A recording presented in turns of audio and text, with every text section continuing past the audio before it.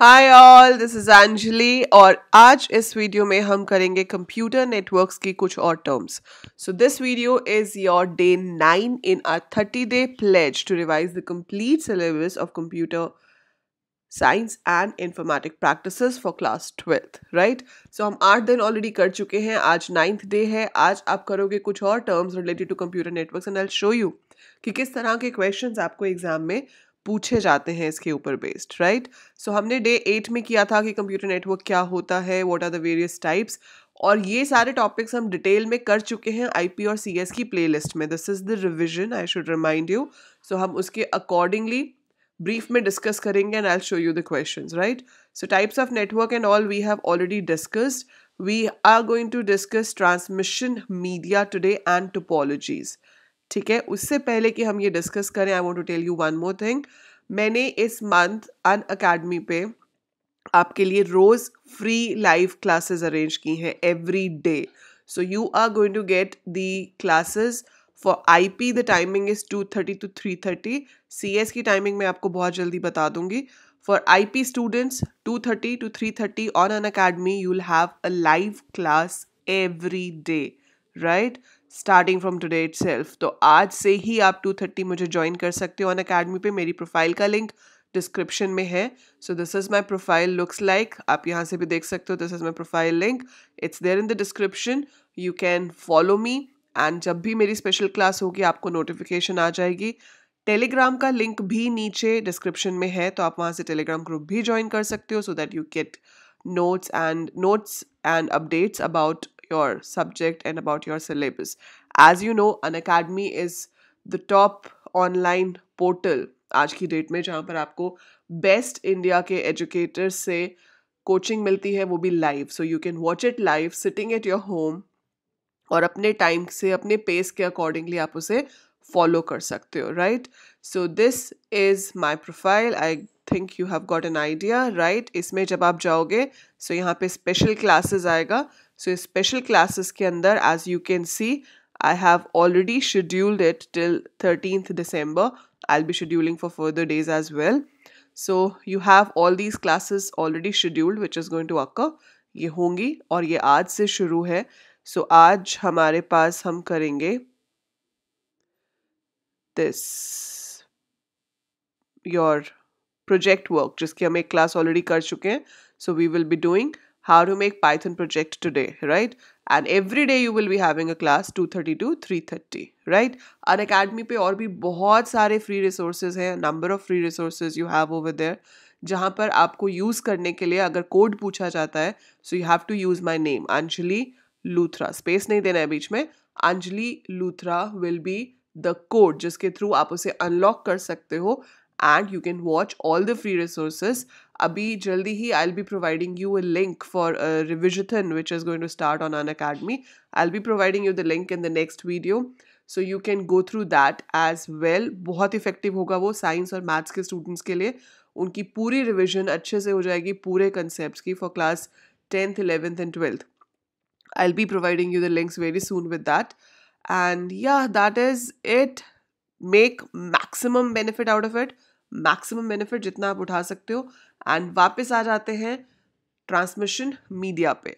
सो transmission media जो है हमारे पास अब, इसमें क्या है कि आपके पास जो कंप्यूटर्स हैं, उन्हें आप आपस में कनेक्ट कैसे करते हो? So computers are connected with the help of either cable, that is wired media, या फिर वायरलेस मीडिया, ठीक है? वायर्ड अगर हम यूज़ कर रहे हैं तो हमारे पास दो ऑप्शन हैं। एक होती है कॉपर वायर्स, और दूसरी होती है ऑप्टिकल फाइबर मतलब जो कांच की केबल है और उसमें डेटा लाइट फॉर्म में ट्रांसमिट होगा। कॉपर वायर्स तो सबको पता है कि नॉर्मली वायर्स कॉपर वायर्स ही होती हैं ठीक है? सो so, ये twisted pair cable axial cable ये दोनों कॉपर वायर्स में आती हैं। इनके एडवांटेज क्या है कि सस्ती हैं इतनी महँगी नहीं है easy to install and maintain ठीक है? Coaxial is better than twisted pair optical fibre is the best is the best क्योंकि इसमें स्पीड बहुत ज़्यादा है बैंडविड ज़्यादा है डेटा स्टीलिंग नहीं हो सकती नॉइज़ इम्यूनिटी है।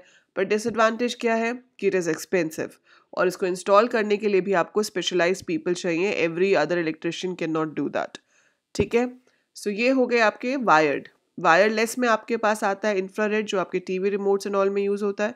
देन एफ़ में यूज़ होता है रेडियो वेव प्रॉब्लम इज़ कि it is affected by the atmospheric conditions बारिश है, तूफ़ान है सिग्नल सही नहीं आएँगे।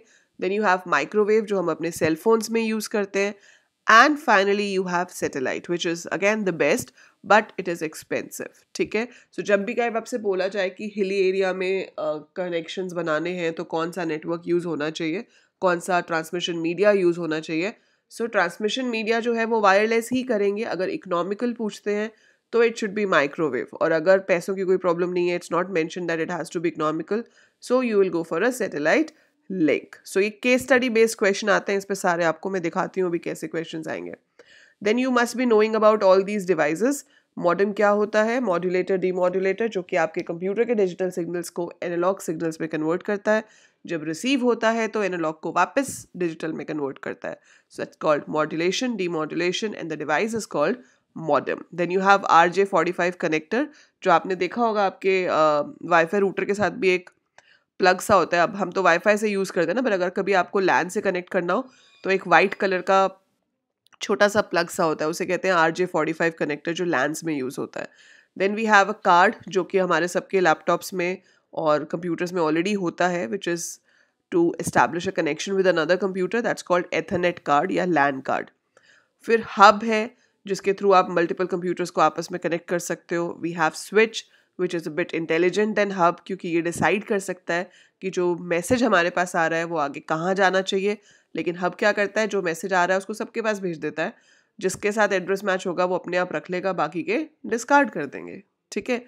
पर स्विच ऐसा नहीं करता, जिसके लिए बना है, उसी को आगे भेजेगा।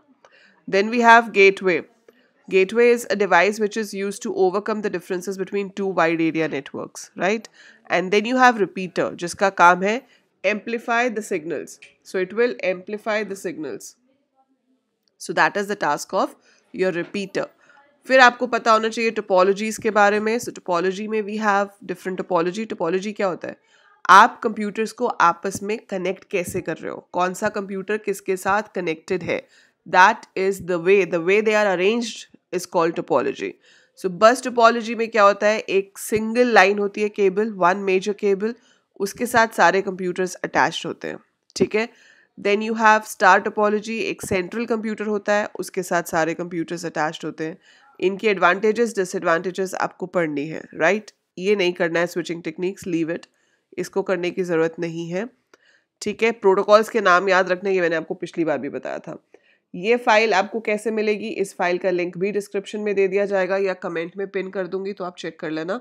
So you can download this file from there moreover you can download these files ये मैंने अभी दो सेट्स बनाए हैं I be making more sets for you so this is most frequently आज question based on computer network part one so we have number of question जैसे देखो ऐसे आता है question case study wise Arun opened his email and found that his inbox was full of hundreds of unwanted mails. It took him around two hours to delete these unwanted mails and find the relevant ones in this in his inbox. What may be the cause of his receiving so many unsolicited mails? What can Arun do to prevent this happening in future? So, हम क्या कहेंगे इसको कि Arun's email has been attacked with spam. They may be promotional emails or maybe different advertising groups. अब उसको क्या करना चाहिए He should create filters ताकि ये वाली mails उसके inbox में ना आए ठीक है ऐसे आ सकता है assume that 50 employees are working in an organization each employee has been allotted a separate workstation to work in this way all computers are connected through the server and all these workstations are distributed over two floors each floor all the computers are connected to a switch identify the type of network so एक ही building के अंदर है ठीक है तो क्या होगा local area network ठीक है अब सारे क्वेश्चन देख लो सब ऐसे केस स्टडी बेस्ड होते हैं सीधे सीधे क्वेश्चन सिर्फ़ फुल फॉर्म्स के केस में ही आते हैं आपके पास fine So you have to go through these questions. So I have like around 20 questions in So 20 questions set 1 में है. टेन क्वेश्चन सेट टू में है. So, ये थर्टी क्वेश्चन हो गए. इनको अच्छे से प्रिपेयर करो. फिर इसका मैं टेस्ट लूँगी एक दिन. ठीक है? So you should be prepare about it अच्छे से ये थर्टी क्वेश्चन फिर जब आप अन अकेडमी पर लाइव आओगे टू थर्टी सो एक दिन हम इन क्वेश्चन का टेस्ट करेंगे. देखते हैं आपको कितना याद होता है. ठीक है? बाकी now coming to the question जो आपको बोर्ड में पूछा जाता है फाइव मार्क्स का, वो कुछ ऐसा आता है.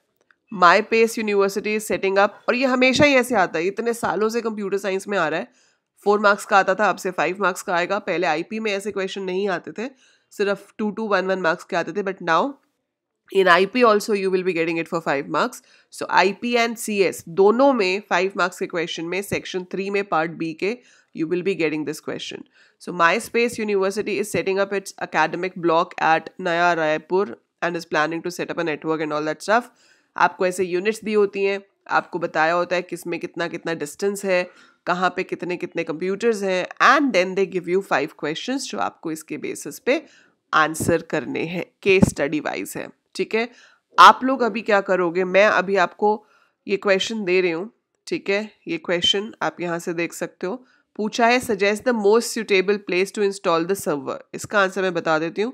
सर्वर वहाँ पे होता है जहाँ सबसे ज़्यादा कंप्यूटर्स होते हैं। ठीक है? So it has to be in H R centre ये आप आंसर करके दोगे मुझे suggest an ideal layout of connecting these block centres for a wired connectivity ठीक है? Which device will you suggest to place in each of the units so that the computers are connected फिर आपको बताना है कि repeater कहाँ लगेगा। सो so, आपको क्या करना है? जो आपने केबल लेआउट डिज़ाइन किया होगा ना जो भी केबल लेआउट आप डिज़ाइन करोगे उसमें से आप डिस्टेंस देखोगे। अगर तो 50 मीटर से ऊपर का डिस्टेंस है तो आपको बीच में रिपीटर लगाना पड़ेगा। अगर 50 मीटर से कम है डिस्टेंस तो आप रिपीटर नहीं लगाओगे। ठीक है? सो ये चलो आप सी और ई e का आंसर कमेंट्स में लिखोगे। लेआउट आप कमेंट्स में नहीं बना सकते। सो so, लेआउट में हमें यही चीज़ ड्रॉ करनी है और हम जनरली सबसे बेस्ट लेआउट क्या होता है कि जिसमें सबसे ज़्यादा कंप्यूटर है। एच को बीच में रख लो। एचआर से एक केबल बना दो टेक्नोलॉजी तक। एचआर से एक केबल बना दो बिज़नेस तक और एचआर से एक सिग्नल बना दो मतलब एक लाइन बना दो लॉ ब्लॉक तक। That is the best layout which you can have ठीक है? सो अब आप मुझे सी और ई e का आंसर कमेंट्स में लिख के बताओगे कि क्या होगा।